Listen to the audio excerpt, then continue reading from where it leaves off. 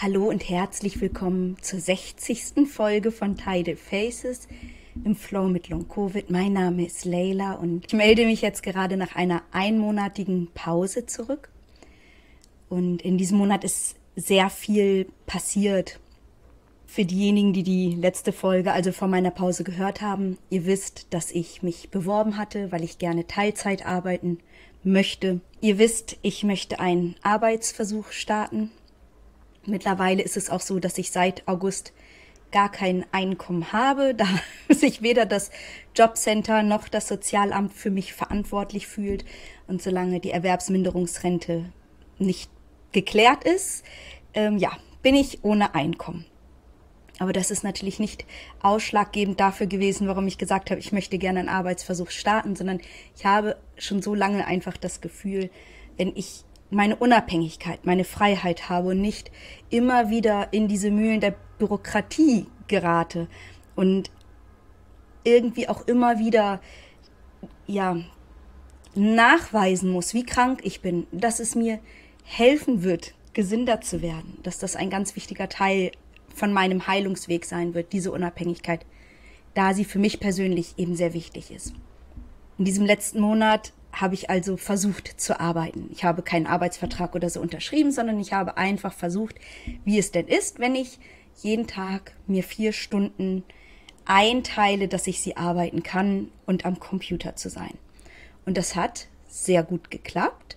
Ich schaffe so anderthalb Stunden am Stück und dann brauche ich auch wieder eine lange Pause, eine aktive Erholung und dann kann ich noch mal eine Stunde machen und später noch mal eine Stunde. So in etwa habe ich mir das aufgeteilt. Die Breathwork-Coaching-Ausbildung, die ich ja dann auch parallel im September bei Gita gestartet habe, das war allerdings zu viel. Und in dem Moment, als ich natürlich meine kognitive Leistung gesteigert habe und diesen Arbeitsversuch gestartet, hat das auch bedeutet, dass ich physisch, also mein Training mit Frederik, runtergefahren bin, runterfahren musste. Es war für mich ein ganz neues Ausloten und es war kein einfacher Prozess. Zum einen, weil ich jetzt gewohnt war, auch dass ich 45 Minuten draußen sein kann und mir das auf einmal nicht mehr so viel vorkam und ich das überhaupt nicht in eine Relation setzen konnte, was es denn bedeutet, wenn ich doch jetzt sogar vier Stunden am Tag arbeite. und irgendwie wollte ich schnell mehr, als eigentlich ging. Und bin auch ein bisschen frustriert gewesen und habe ehrlich gesagt den Blick für das verloren, was ich in so kurzer Zeit eigentlich an Änderung und Verbesserung schon integriert habe und so ein bisschen vielleicht auch die Geduld verloren. Und das hatte auch ein wenig damit zu tun, dass ich so das Gefühl hatte, immer auf Instagram was teilen zu wollen, erzählen zu wollen, wie es weitergeht. Und im Moment ging es ja aber gar nicht weiter, sondern das physische Training hatte stagniert, beziehungsweise habe ich runtergefahren und da ist irgendwie so ein Kreislauf in mir selbst entstanden von ganz viel Druck und Unzufriedenheit. Und damit habe ich mich erstmal auseinandergesetzt, weil das ist ja nicht der Sinn gewesen, dass ich sage, ich teile diesen Weg, indem ich mir dadurch auch noch wieder Druck mache. Und so ganz davon frei machen schaffe ich nicht. Das schaffe ich nicht, dass mir jeder Kommentar oder jeder manchmal ja auch gut gemeinte Ratschlag nicht nahe geht. Und ich habe auch überlegt, inwieweit die Zeit, die ich natürlich für mich gewollt für den Podcast, für Instagram und für all das einsetze, inwieweit das vielleicht auch Zeit ist, die ich jetzt, da ich arbeite, für mich nehmen sollte. Und ich habe lange darüber nachgedacht, und das ist auch ausschlaggebend gewesen für meine Entscheidung. Und zwar das Zitat, du kannst nicht in der Umgebung heilen, in der du erkrankt bist. Und ich möchte jetzt mit Umgebung gar nicht sagen, dass das ein familiäres Umfeld oder ein Freundesumfeld sein muss oder eine Wohnung oder eine Stadt. Das kann und darf und sollte natürlich jeder für sich selbst entscheiden.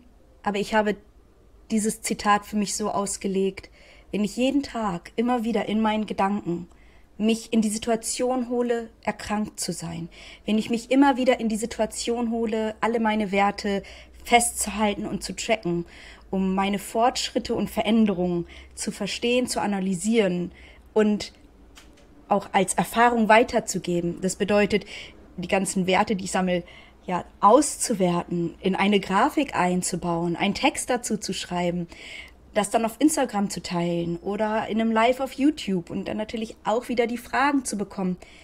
Ich mache ja nichts anderes, als immer wieder gedanklich mir zu sagen, Leila, du bist krank. Das und das und das sind deine Symptome. Ja, die verändern sich und verbessern sich ein bisschen, aber nur wenn du das und das und das machst. Also ich fange mir ja an, eine Geschichte zu erzählen, davon, dass ich krank bin und dass ich unglaublich gut darauf achten muss, was ich tue, damit es mir nicht schlechter geht. Und dadurch, dass ich immer wieder auch mit anderen Menschen, auch mit euch eben in Austausch bin und eure Geschichten erfahre, verfestigt sich ja in mir auch immer mehr wirklich diese Überzeugung, und ich meine jetzt nicht euch, sondern grundsätzlich Menschen mit der Erkrankung, das ist eine unheilbare Erkrankung, wenn man nicht aufpasst, kommt der große Crash und das ist ja auch alles richtig. Doch ich glaube, das ist ein Teil des Genesungsweges. Und ich habe im Moment ganz stark in mir das Gefühl, dass ich diesen Abschnitt verlassen möchte. Dass ich nicht schaffen werde, ganz gesund zu werden, wenn ich diesen Abschnitt nicht hinter mir lasse, wenn ich nicht jeden Tag so völlig frei für mich lebe, und meine Gedanken einfach ja auf die Dinge sich fokussieren lasse, die da kommen. Mein Körper einfach selbst jetzt das Ruder übernehmen zu lassen. Denn mein Gefühl sagt mir, wenn ich immer wieder nur mich mit Long-Covid, MECFS, Postweg beschäftige, wenn ich immer wieder in Austausch gehe, wenn ich immer wieder quasi erfahre, wie schlecht es auch anderen geht, dass das immer wieder eine Erinnerung daran ist, wie krank ich bin. Und dabei hoffe ich, dass das stückweise Vergessen dazu beiträgt, gesünder zu werden. Lange Rede, kurzer Sinn. Wir sind diesen Weg gemeinsam gegangen und es war unglaublich wichtig und unglaublich schön. Und ich möchte auch den Weg weiterhin gemeinsam gehen. Doch ich glaube, dass ein ganz wichtiger Bestandteil dieses Weges ist, dass ich ihn alleine gehe. Und ich habe das Gefühl, dass ich jetzt an diesem Punkt angelangt bin, dass jetzt der Zeitpunkt ist, an dem es wichtig ist, dass ich ein Stück alleine gehe. Alles wirklich loslasse. Und deswegen habe ich mir für mich selber entschieden, für mein Wohl, für meinen Seelenfrieden, ehrlich gesagt auch, dass ich bis Ende des Jahres offline gehe. Und mit offline gehen meine ich, dass ich mich nicht mehr damit beschäftigen möchte. Das heißt nicht, dass ich nicht vielleicht doch auf Netflix eine Serie gucke, dass ich nie wieder ins Internet gehe. Das nicht. Aber dass ich nichts mehr konsumieren möchte, das mit dieser Erkrankung zu tun hat. Und dass ich selbst auch nichts produzieren möchte, was mit dieser Erkrankung zu tun hat. Sondern dass ich lernen möchte, so wie vor der Erkrankung, dass es ein Alltag, ein Leben, dass es Gedanken gibt, die einfach völlig frei davon sind. Und ich glaube eben, das ist ein ganz wichtiger Schritt. Aufzuhören, mich damit zu beschäftigen und darüber nachzudenken. Und deswegen werde ich auch diesen Podcast noch weiterhin pausieren. Bis Ende des Jahres. Ich weiß nicht, ob das, ob ich mich vor Weihnachten melde oder ob ich mich vielleicht im Januar erst melde. Ich möchte mir auch gar kein Datum setzen, sondern ich möchte da ganz tief, ja, erstmal einfach alles wirklich ganz tief loslassen und dann einfach schauen, was sich entwickelt. Es ist sehr warm hier im Zimmer. Ich habe den Ventilator nicht an, damit es kein störendes Geräusch ist. Um, und das ist natürlich auch anstrengend für mich. Deswegen vielleicht hört ihr das auch ein wenig in meiner Stimme. Ja, es ist gerade keine ganz einfache Aufnahme. Ich möchte nicht einfach so verschwinden sondern ich möchte alles, was ich weiß, was ich erlernen durfte und was ich bisher auch geteilt habe, so strukturiert hinterlassen, dass wenn ihr das nochmal nachlesen möchtet oder wenn jemand ganz Neues jetzt zu diesem Podcast dazukommt, all diese Informationen finden kann. Und das erste, was ich gemacht habe, ist, ich habe einen Blog eingerichtet bei mir auf meiner Webseite leilajasim.com den Blog, wo ich die wichtigsten Themen aufgelistet habe. Mit den wichtigsten Themen meine ich einmal natürlich der positive Umgang, der wird hier durch den Podcast hoffentlich unterstützt. Aber was ist wichtig? Wichtig ist zu verstehen, was Pacing ist. Wichtig ist zu verstehen, wie man die eigene Baseline ermitteln kann, zu verstehen, dass sie eben aus der kognitiven, aus der emotionalen und der physischen Belastung besteht. Und dass unser Nervensystem eine Dysregulation leider hat. Und wir unser Nervensystem unterstützen können, indem wir den Vagusnerv stimulieren. Wie gesagt, ich mache das immer über den Sensate. Das geht über die Atemübungen, das geht über leichte Massagen. Für mich ist das immer alles zu anstrengend und zu viel. Wenn ich an dem Punkt bin, wo ich eine aktive Erholung brauche, dann kann ich nicht noch eine Atemübung machen. Das ist im Moment noch zu viel für mich. Also wirklich zu verstehen, warum aktive Erholungen so wichtig sind. Und dann habe ich das große neue Thema jetzt auch im Blog schon zusammengestellt, das Earthing Grounding. Wie wir unser Nervensystem unterstützen können, sich noch besser zu regulieren, indem wir geerdet sind. Und dafür muss es nicht zwangsläufig sein, dass wir barfuß draußen sind, denn ich weiß, für viele ist das gar nicht möglich. Und auch für mich war das und ist das nicht möglich. Und selbst wenn ich einmal am Tag für eine halbe Stunde draußen bin, ist es doch so, dass ich 90 Prozent im Bett verbringe. Also ist es doch wichtig, im Bett geerdet zu sein. Und da habe ich Produkte getestet. Das ist eine Grounding Matte, die gibt es in zwei verschiedenen Größen. Die kleinere lag bei 30 Euro, die größere bei 50 und im Grunde genommen ist das auch schon für ein Grounding ausreichend. Es reicht schon, mit einem Körperteil diese Matte zu berühren, zum Beispiel mit der Hand oder dem Fuß. Und die elektrische Spannung im Körper wird neutralisiert. Das läuft über eine Steckdose, über den Erdungsstecker. Das heißt, auch wenn die Steckdose ausgeschaltet ist, ist das Bettlaken oder die Matte geerdet und transportiert das im Grunde genommen so zu uns. Ich merke gerade, ich kann das viel besser erklären, aber ich kriege es gerade nicht richtig hin. Wie gesagt, dafür ist der Blogartikel auf meiner Webseite auch. Und ich habe mir eben auch noch ein Bettlaken gekauft, in dem ich schlafe. Und im letzten Monat habe ich für mich festgestellt, dass ich es ist ehrlich gesagt wirklich schön. Ich habe ja so stark an diesem Baustein Schlaf gearbeitet. Mein Puls ist mittlerweile bei 71 während des Schlafens von 90 auf 71 runter. Das ist ganz, ganz toll. Es war natürlich nicht immer 90, aber doch oft. Das ist ja der Grund, warum ich so viele Monate keine zwei Stunden am Stück schlafen konnte und auch selten mehr als vier Stunden geschlafen habe. Und heute auch wieder. Ich habe zehn Stunden geschlafen, zweieinhalb Stunden Tiefschlaf. Also einfach eine wundervolle Verbesserung. Und vor allen Dingen, was ich merke, ist, dass ich ruhiger werde, dass ich morgens ruhiger aufwache oder wenn ich auch mal in der Nacht aufwache, es ist nicht so, dass mir das gar nicht passiert, aber dass ich viel ruhiger bin und auch ganz schnell wieder einschlafen kann. Also das sind die Dinge, die ich probiert habe im letzten Monat. Ich spiele mit dem Gedanken, auf YouTube vielleicht das eine oder andere Video doch noch mal hochzuladen, auch während meiner Pause, wo ich noch mal ganz gezielt auf den Sensate und die Erdungsprodukte eingehen möchte. Ich verlinke die auch jetzt hier drunter in den Show Notes. Bei Groundology bekommt ihr sogar 10% ähm, wenn ihr das über den Link bestellt. Und ich bekomme natürlich auch eine Kleinigkeit. Und ich muss auch ganz ehrlich sagen, es ist auch im Moment wichtig für mich, irgendwie zu gucken, dass ich ein kleines Einkommen mir irgendwie schaffe zu generieren. Denn, wie gesagt, ich habe keins.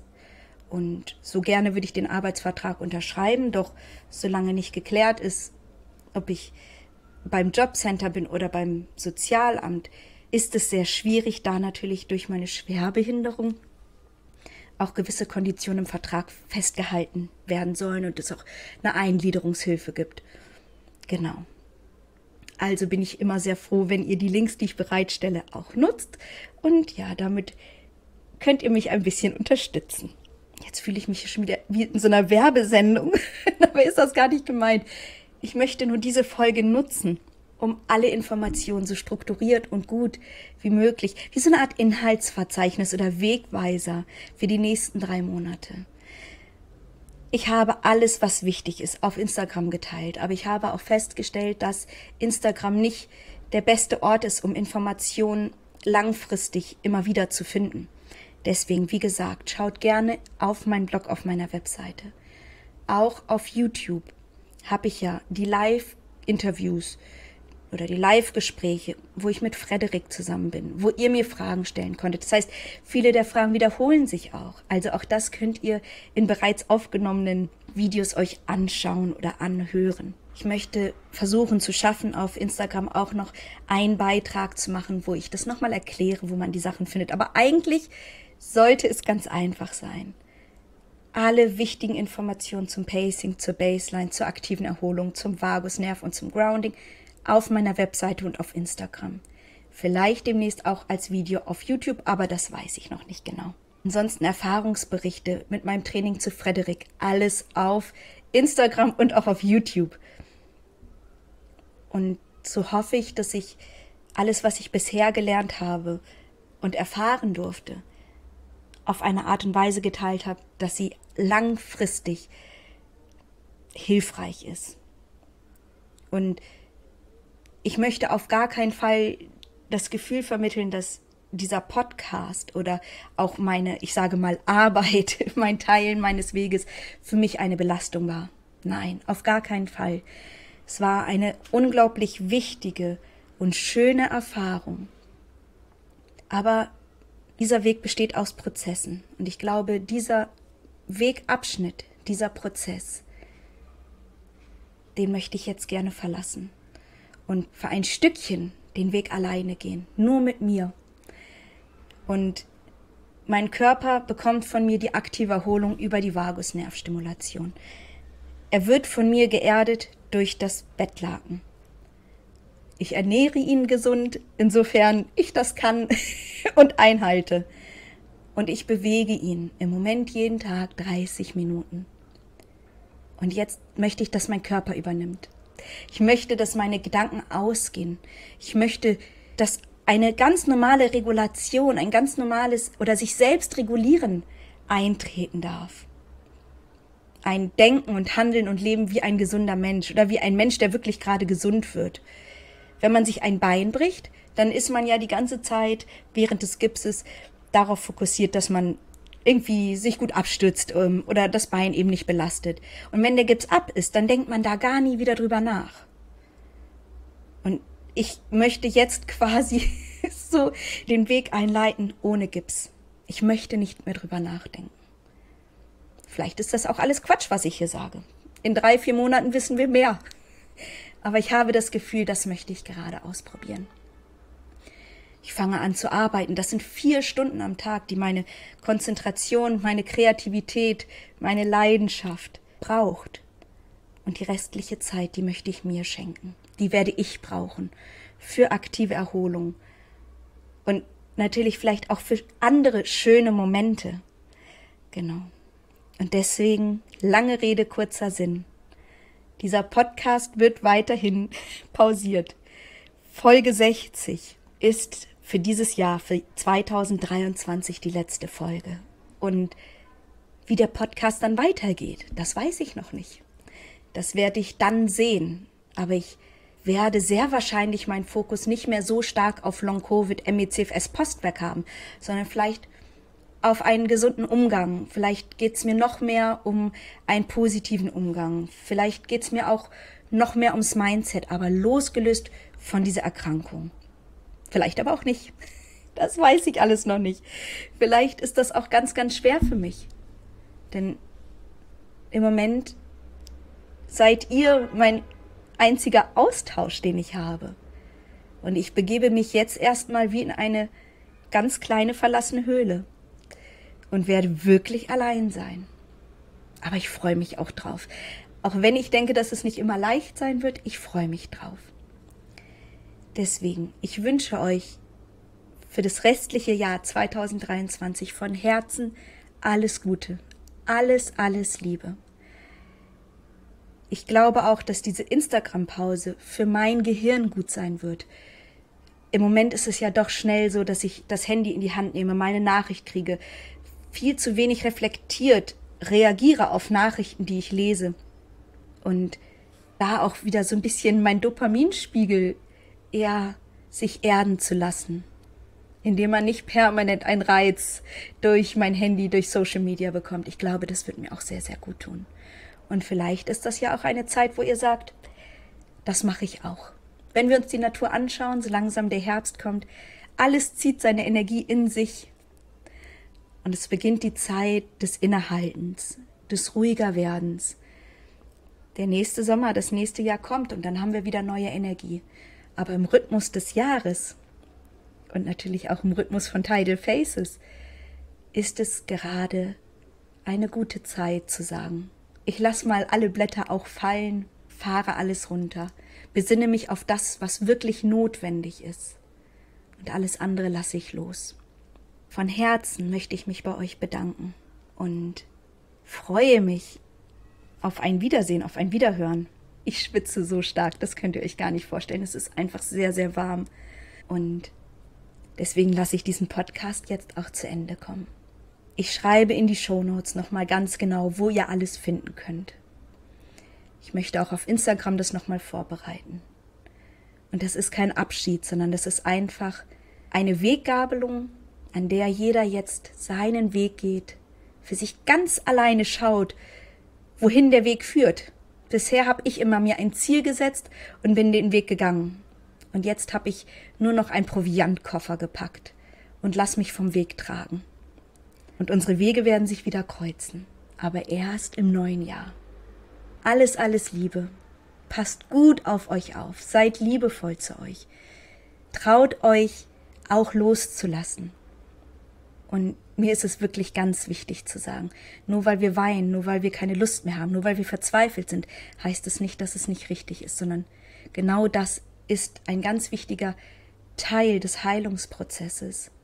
Und ich bin die, den letzten Monat genau durch dieses Tal gegangen. Ich habe so viel geweint. Ich war so frustriert. Aber es sind immer alles nur Abschnitte und dann kommt ein neuer.